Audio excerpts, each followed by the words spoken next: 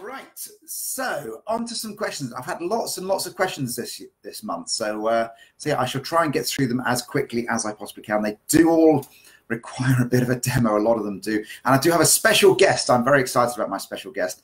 It's a bit silly, really, um, for the uh, dips and drops section of this podcast. Okay, right. So first one, one from Mark West actually last night. I thought I'd bring it actually uh, to the podcast as well because it's a great question. I never really thought about it myself.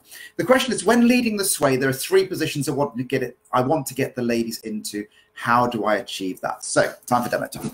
All right. So, first of all, the sway is generally a move where you'd step away, you sway your partner into the right hand side, and then you step back. Okay. But Mark was saying there's three kind of different positions he wants to get his partner into. How do you get into those? So the first position is when you actually lead your partner and then you twist to the side and then you can do some sway basics going from side to side.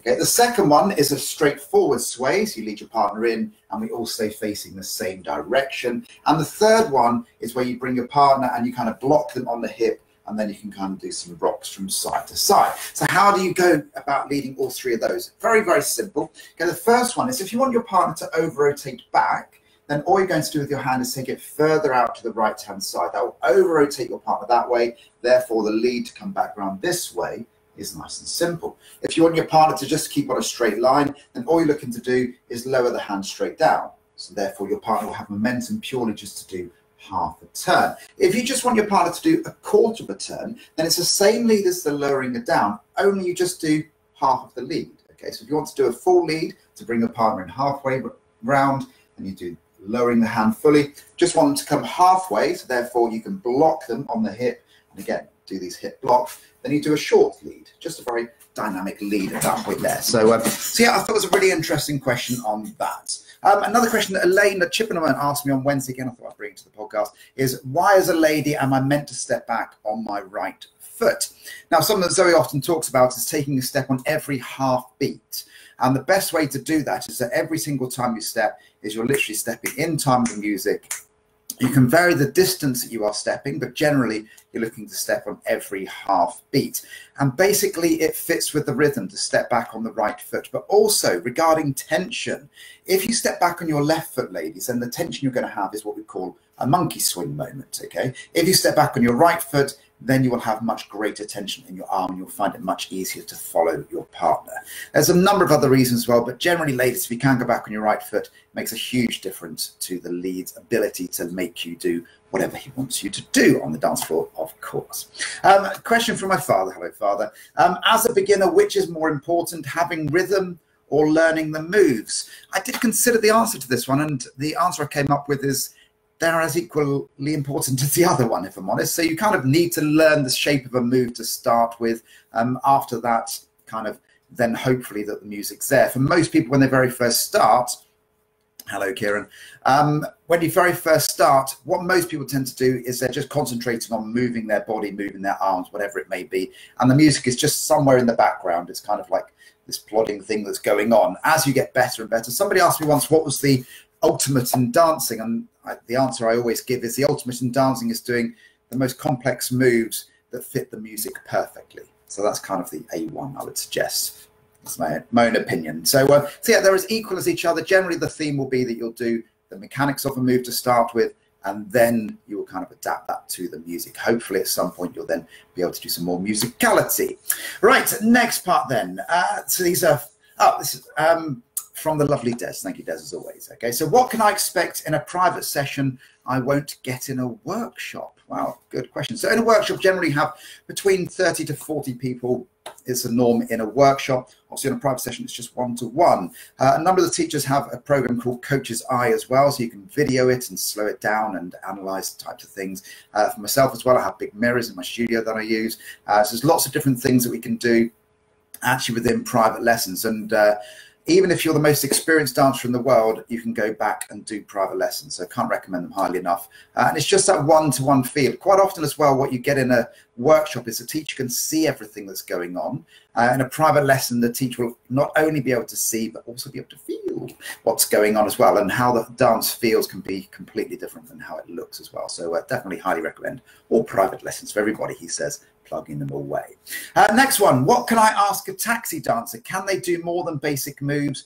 Why don't they focus on connection exercises? Um, well, certainly all the taxi dancers we have in our franchise uh, for myself and Zoe, we do focus on connection exercises. One of the things that we do in our franchise. I can't speak for what other franchises do, of course. Um, but you can ask a taxi dancer anything, whether they can give you the answer or not is another matter, of course. Uh, lots of people do ask the taxi dancers about help for the intermediate moves on the night that taxi dancers are taxiing. Okay, if you may notice that during the intermediate class, the taxi dancers aren't there; they are running the taxi session. So it's not the easiest thing for them to kind of figure it out because they haven't taken part in the class. Um, so if you do have a question, then please do feel free to ask them. They can obviously come and ask the teacher at that point there. But you can ask a tax dancer anything if you want.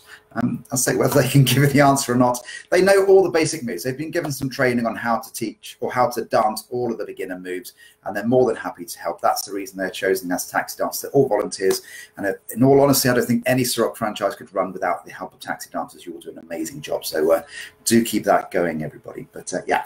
Um, what is frame and why is it important? Um, frame for me is one of the most important things in dancing. So, for instance, the way I now teach, hello, Lindsay, as well, um, and everybody else that's joining. Um, so, one of the things for me in frame, so for instance, I teach a slingshot slightly different these days. Don't tell HQ this, but uh, but yes. Yeah, so when I teach a slingshot, for instance, and I'm stepping back and I bring my partner into the side, I, I no longer teach pushing with the arms anymore because actually, what I was finding is that people were over leading it and the ladies were flying off to the side and it wasn't very nice. When I was doing the follow part, I personally hated the way that people led the slingshots, and people often found it most difficult of the beginner moves. So what I now teach is kind of keeping the frame in the same place and simply moving your body backwards and that's enough to lead your partner forwards. And it kind of told the men that they didn't have to hoof their partners from side to side. So, uh, so yeah, and if you're in frame for, in boring frame, for instance, if you're doing a mambo move, whatever it may be, uh, then yes, just holding that top line should act like a swan is the uh, principle behind it. So the top line stays nice and stable, whilst underneath all of the hips should be doing as much as possible. Okay, so, uh, so yeah, frame very important to try and get lots of it going correct. Okay. Right, so we're now kind of moving on to uh, the second section of this, which is all about dips and drops. A couple of questions that are coming in about dips and drops as well. Okay, so first one from the lovely Richard Chandler. Uh, lovely outfit on Wednesday, by the way, Richard. Okay, so he says, as well as checking at the start of a dance if a follow is okay with dip stroke drops, is it a good idea to say during the dance ballroom drop or neck duck drop or whichever as you start the move? Would this be good so follow isn't taken by surprise stroke scared? Or bad that they might preempt the move or do the wrong move. Okay. Um, I don't have any problem with the odd verbal command. Okay, so the classic one, although I don't teach it too often these days, but the classic one that lots of people do as a verbal command is the Colombian, which is a walking move. Uh, it's actually very difficult to lead that particular move if you don't have the frame right. Going back to the previous question, of course. Um, so lots of people use say the Colombian, and then off you go as that. Um, however, if you have a verbal command, you say ballroom drop, and the lady goes, what? And you say ballroom drop, and they, if they haven't done a ballroom drop before, then it's just jargon. They would have absolutely no idea what you're talking about. That would create more confusion than actually it would help. So I would avoid verbal leads unless you're with a particular fixed partner and they know exactly what you're talking about.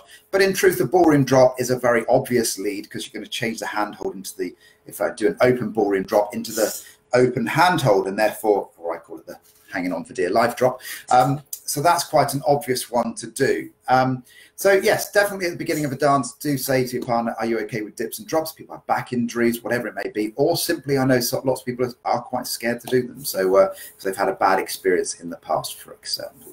Okay, so so yeah, I would definitely say do do ask your question. Uh, Okay, Donna's just put, wonder if the owners should be on the follower to say they don't do dips and drops. Hard for leaders to always remember to ask first. It's a very good point, Donna. Yes, if you do have an injury, as a lady, I know lady last night had an injury, so she was like, I can't do X, Y, and Z move. And that's absolutely fine. So yes, if you do have an injury, just say, please don't do any dips and drops. I've hurt my back, whatever it may be. So that's the nice way to do it as well. Because uh, otherwise, if you're a man, you're asking every single time, and it's the third time you dance with that person that night, you don't need to ask every time. Um, but yeah, it's a nice, polite thing to do. Okay. Um, so regarding doing a uh, checking at the start of dance, that's great. Telling the person what's going to happen, probably would suggest not to. Just have better technique, which we'll talk about in a moment. Right, time is flying by. Okay, so the next one is should ladies take all their own weight during a dip or a drop? Okay, we'll come on to this in technique in a moment. But one of the things I would always say to ladies is that unless you trust the man explicitly, and it is a particular type of move, okay, unless it's a particular type of move, always take your own weight, okay. I'm 13 stone. I was doing the follow part last night. I did some dips and drops. I take all of my own weight, okay. I have no problem with that. I can still get to a fairly decent angle. I don't need to worry too much about it. I don't have to trust what the man's doing, which is always very, very helpful, okay. So let's move on to some dips and drops. In. So the first question is always, sorry, regarding, sorry, going back to the weight doing a dip or a drop, it depends on the move. If it's a ballroom drop, for instance, and you're horizontal down to the ground, no, you're not taking your own weight. That's more of an advanced move, okay? But in normal intermediate, doing a high first lean or something like that, then absolutely, ladies, take all of your own weight. But if you are going further than the tipping point, then the man will be taking a lot of your own weight. But that's down to kind of fixed partners that type of thing. Right. So, uh, one of the questions that's always asked me is I had one lady once when I used to dance up in Wolverhampton. Apologies for the bad accent. Is she said, I'm fine with dips and drops, but I don't do seducers. And I was like, okay. And then the next question was, what's the difference between a dip, drop, seducer, lean? Kind of what is the difference between them all? In all honesty, they're all kind of the same thing, really. Uh, leans are generally where you go to the side of the man, okay, which we'll come on to in a minute. Dips, drops, seducers, just kind of different names for doing them all, really. So it's kind of the same principle. Right, let's do some basics then, okay. So on a dip and drop, first of all, I'm very strong about this, and soon we'll have the uh, my guest my guest appearance, okay? But from the male perspective, okay, one of the things you're always looking to make sure you do is that when you do your lean, is first of all, when you bring your partner into in front of you, you pause, unless you're with a fixed partner, okay? Always pause. Weight should be on your right foot as you're doing the lunge, okay? So weight's on your right foot, you're then lunging to your left-hand side, okay, with that position there. And one of the main things I would say, now I've suffered with a bad back for 20 plus years, okay? So one of the main things that lots of men do is they twist their back like this, okay? Now, I did check, check this out, so it is an official thing, and that is if you twist like that, and effectively what you're doing is putting all of the weight on your L5, L6 disc and multiplying it by 10. So I mentioned a minute ago I'm 13 stone. So all of a sudden you've got 130 stone, if I'm being your follow, on the tiny part of your back. Okay, so if that's not enough to discourage you, I don't know what is. Right, but why do men twist?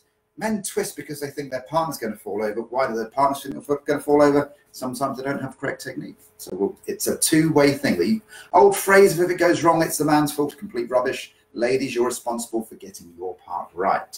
So back to the men's basics. Okay, so men, you're lunging to your left-hand side. Keep your feet parallel. Okay, you don't want to lunge forwards. That gets, I show you from this way. If you lunge forwards, your weight goes forwards again that's not great for tipping over.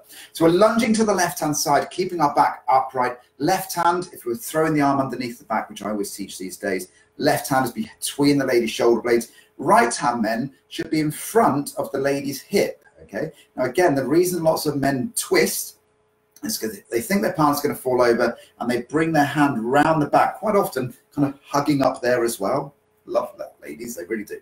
Okay, but men, the hand should be on the hips as you sink down. It's just in that position there because ladies should take all of their own weight. Okay, so that's that first part. Okay, so men lunging to the left, left hand's behind the lady's back, right hand's in front, and you should be able literally to do jazz hands. Don't do that necessarily while in a dip. That does scare ladies. Okay, so that's the first bit. Ladies, from your perspective, okay, one of the key things which I say to every single ladies is that when you come round, okay, whichever move it may be, let's use a basic high first lean. So the man throws the hand underneath, you come round, you bring your feet together, place the weight onto your left foot. And this is the key part for me, ladies, is that what lots of ladies do at that point there is they simply, as they, they don't take a step back and they just shoot their left leg forward. So I just bring, I'm afraid you're going to get to see my legs now. Hello, everybody.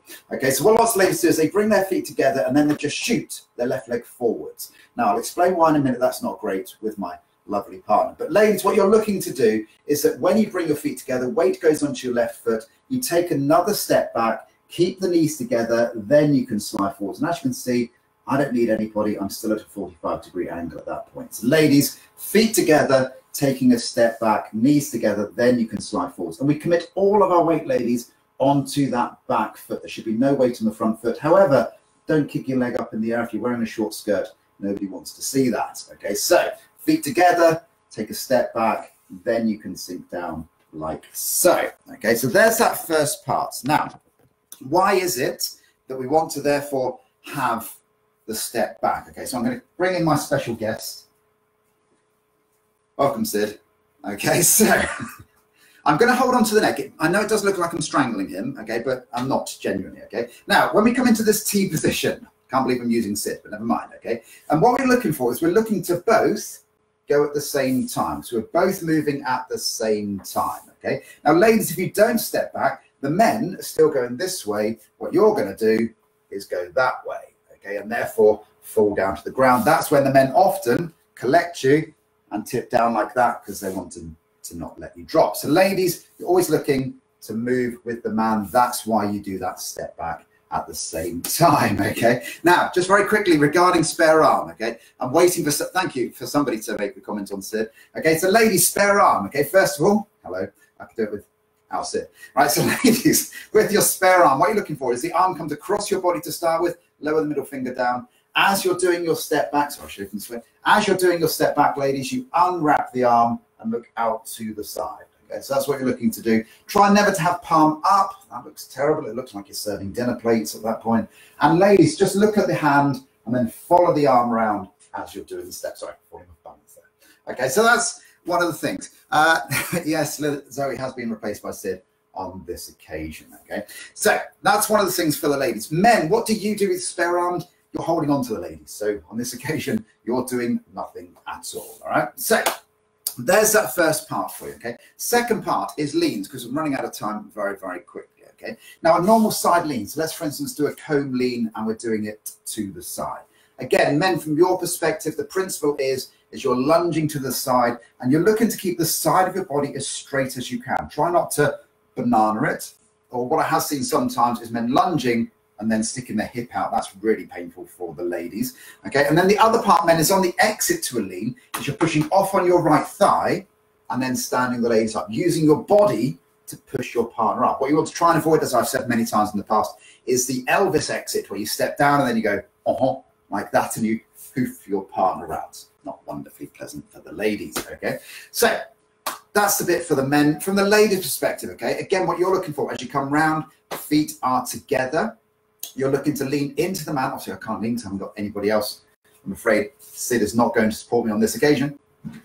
So, as we do the lunge, ladies, okay, all you're looking to do, keep your feet together. What you can do, I can show you very quickly with my legs, okay, is that you can bring your left foot up to your right and then you're looking to have the foot facing down, nice and vertical. And then ladies, just bring the knee across. Okay, so that looks quite ladylike at that point there. With your arm, you've got two options, I suggest, ladies. Either option number one, again, across the far shoulder, you can take the arm out to the side, or if you wish to, you can take it up through and out. Okay, if I just come back a little bit, make sure the palm is facing away from you, try not to have it in. Looks like a periscope. Okay, so we take the arm up, ka-chink, that's what you're looking to do. And then on the way down, okay, all you're looking to do, ladies, come round the back, through the hair, and then back out to the side.